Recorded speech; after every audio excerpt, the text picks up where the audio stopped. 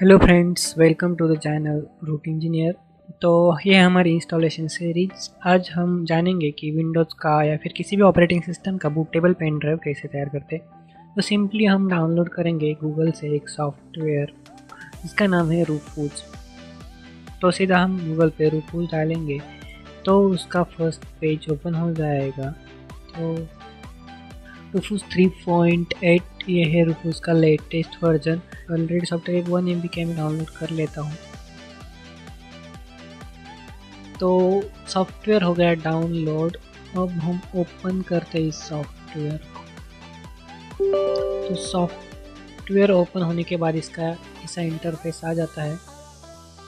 तो आप अपना पीसी या फिर लैपटॉप इंटरनेट को कनेक्ट करके रखिए, क्योंकि कभी कभी इसके डिपेंडेंसीज फ़ाइल इंटरनेट से डाउनलोड होती है। यहाँ पे डिवाइसेस में आपको पेन ड्राइव सेलेक्ट करना होता है तो हम सिंपली कनेक्ट करेंगे अपने पेन ड्राइव को।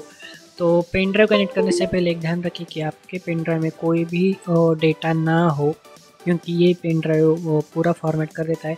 तो मैंने यहाँ पे एच ड्राइव मेरा pen drive sixteen G B का सिलेक्ट किया। यहाँ पे आप आई फ़ाइल सिलेक्ट कर सकते हैं। आई फ़ाइल मतलब आप जो भी ऑपरेटिंग सिस्टम की फ़ाइल होती है, वो मैंने यहाँ पे कुछ विंडोज़ की फ़ाइल डाउनलोड करके रखी है। यहाँ पे मैं विंडोज़ टेन सिलेक्ट करता हूँ। तो ये हो गई सिलेक्ट यहाँ पे बाकी सब बाई डिफ़ॉल्ट रखी है ये यहाँ पे G P T U F I और यहाँ पे स्टार्ट पर क्लिक कर दीजिए, ये वार्निंग आएगी all data on device will be destroyed to continue with this operation click okay यहाँ पे सिंपली ओके कर दीजिए। तो ये पेन ड्राइव बूटेबल होना स्टार्ट हो गया। थोड़ी देर बाद आपको एक पॉपअप दिखाया जाएगा रेडी का।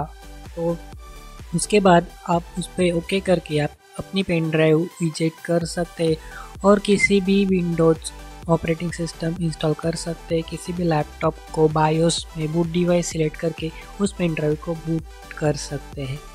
तो तो आज के लिए बस इतना ही। ये थी हमारी विंडोज़ की बूटेबल पेन ड्राइव बनाने की प्रोसेस आप विंडोज़ आई की जगह कोई भी लिनक्स आई फिर एंड्रॉयड आई भी सिलेक्ट कर सकते हैं। चलिए मिलते हैं हमारे अगली वीडियो में। तब तक के लिए गुड बाय